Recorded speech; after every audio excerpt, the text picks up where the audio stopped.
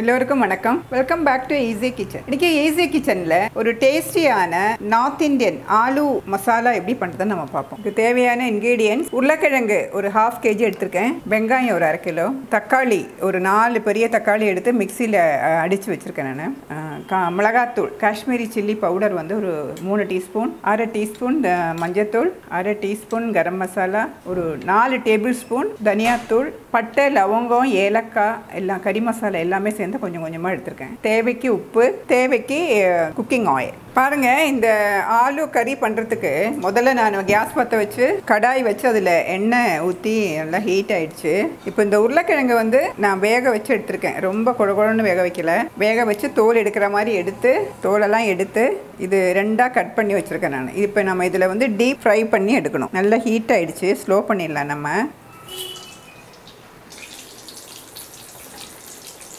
இது நல்லா deep fry பண்ணி எடுக்கலாம்.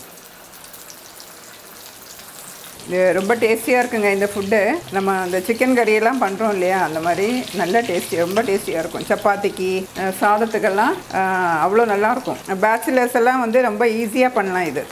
பாருங்கள் நான் கொஞ்சம் கொஞ்சமாக போட்டு எல்லாத்தையும் இந்த மாதிரி ரோஸ்ட் பண்ணி எடுத்துட்டேன். கடைசியாக போட்டிருக்கேன். இப்போ நம்ம கேஸை ஆஃப் பண்ணிடலாம்.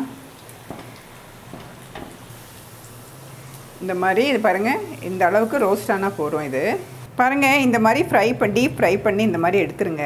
இது வந்து உருளைக்கிழங்கு வந்து பெருசாக இருக்கிறதுனால நான் வந்து நாலாக கட் பண்ணியிருக்கேன். சிலது ரெண்டாக கட் பண்ணியிருக்கேன். நீங்கள் குட்டி குட்டி உருளைக்கிழங்காக இருந்தால் அப்படியே முழுசாகவே போட்டுக்கலாம் இது. அதுவும் வந்து ஊட்டி உருளைக்கிழங்கு தான் வாங்கணும். மாவு உருளைக்கிழங்குலாம் இந்த மாதிரி பண்ண முடியாது. இந்த மாதிரி வறுத்து எடுத்து வச்சுங்க இப்போ அடுத்த ஸ்டெப் என்ன பண்ணணும்னு நான் சொல்கிறேன் இந்த ஆலு கறி பண்ணுறதுக்கு நான் வந்து குக்கர் வச்சு சின்ன குக்கர் வச்சுருக்கேன். எண்ணெய் ஊற்றி நல்லா எண்ணெய் நல்லா ஹீட் ஆகுது. எண்ணெய் நல்லா ஹீட் ஆன உடனே இந்த பட்டை இந்த லவங்கம் கொஞ்சம் அப்படியே பொடி பொடியாக உடச்சி அப்படியே போடுறேன் நான். இந்த பே லீஃபு ரெண்டு ஏலக்காய் ரெண்டு மூணு ஏலக்காய் போட்டிருக்கேன். இது வந்து நல்லா பொரியட்டும். இப்போ நம்ம அதில் வந்து பொடியாக நறுக்கி வச்ச இந்த வெங்காயம் போட்டு நல்லா வதங்கட்டும். இது வதங்கிறதுக்கு நம்ம கொஞ்சமாக உப்பு போடலாம். உப்பு போட்டால் சீக்கிரமாக வதங்கும் அதுக்காக. இது பாருங்க வெங்காயம் வந்து நல்லா ஒரு சிக்ஸ் டு எயிட் மினிட்ஸ் நான் நல்லா வதக்குறேன். ஸ்லோவில் வச்சு நல்லா வதங்கணும் இது. இப்போ நம்ம வந்து இதில் மசாலா ஆட் பண்ணலாம். போதும். நல்லா வதங்கிடுச்சு வெங்காயம். மஞ்சத்தூள். காஷ்மீரி சில்லி பவுடர் தான் போடுறேன் நான் காரத்துக்கு. இது வந்து உங்களுக்கு காரம் கம்மியாக இருக்கும். நல்ல கலர் கொடுக்கும். அதுக்காக தான் இது யூஸ் பண்ணுறேன் நான். நீங்கள் சாதா மிளகாத்தூள் போடுறதா இருந்தால் கம்மியாக போட்டுங்க இது வந்து கரம் மசாலா.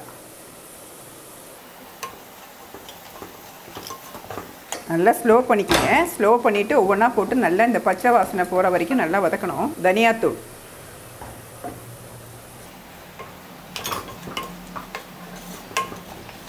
கேஸை நல்லா ஸ்லோ பண்ணிட்டேன் நான். இப்போ நம்ம வந்து அந்த தக்காளி வந்து ஒரு நாலு தக்காளி அரி இப்போ பொடியாக நறுக்கி போட்டு மிக்சியில் இந்த மாதிரி அரைச்சிட்டு வந்திருக்கேன். அதை அதில் ஊற்றிடுங்க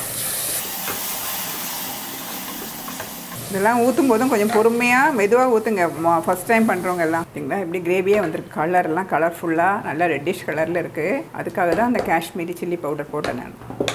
இப்போ நம்ம இதில் வந்து இந்த மசாலா வந்து கொஞ்சம் அப்படியே நல்லா கிளறி விட்டுக்கிட்டே இருங்க. ஃபுல் ஃப்ளேமில் வச்சுருக்கேன் மறுபடியும். ரொம்ப ஹீட் ஆகிடுச்சுன்னா குறைச்சிருங்க. நான் மறுபடியும் ஃபுல் ஃப்ளேமில் வச்சுருக்கேன். இந்த தக்காளி வந்து இந்த பச்சை வாசனை போகிற வரைக்கும் கொஞ்சம் வதக்குவோம்.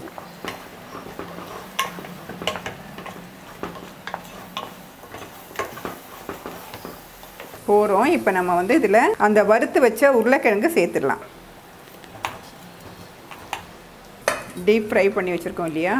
அதை நம்ம இதில் சேர்த்துட்டு நல்லா கிளறி விட்டுருங்க. நல்லா கிளறி விட்டுட்டு கொஞ்சம் தண்ணி இது வந்து கொஞ்சம் கிரேவியாக இருக்கும். அதுக்காக நம்ம கொஞ்சம் தண்ணி ஊற்றலாம்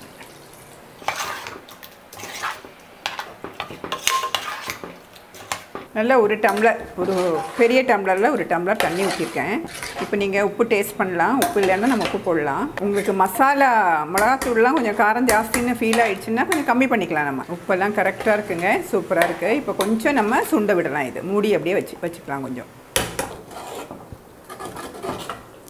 இப்போ பாருங்கள் நான் வந்து இது அந்த பாத்திரம் மாற்றி வச்சுருக்கேன். உங்களுக்கு அந்த டிஷ்ஷோட அந்த கன்சிஸ்டன்சி எப்படி நல்லா தெரியணுன்றதுக்காக. அது குக்கர் இல்லையா? அதனால் இந்த கடாயில் வச்சுருக்கேன் நான். பாருங்கள் நல்லா சுண்டிடுச்சு.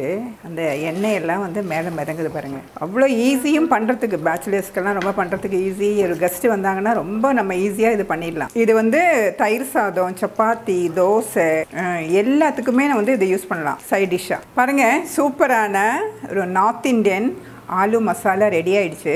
இதுவும் இதே மாதிரி நீங்களும் செஞ்சு பார்த்துட்டு கமெண்ட் பண்ணுங்கள் ஷேர் பண்ணுங்கள் சப்ஸ்கிரைப் பண்ணுங்கள்